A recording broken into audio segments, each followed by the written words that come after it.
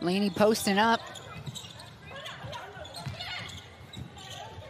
UNESCO, right wing, looks beautiful, and it is.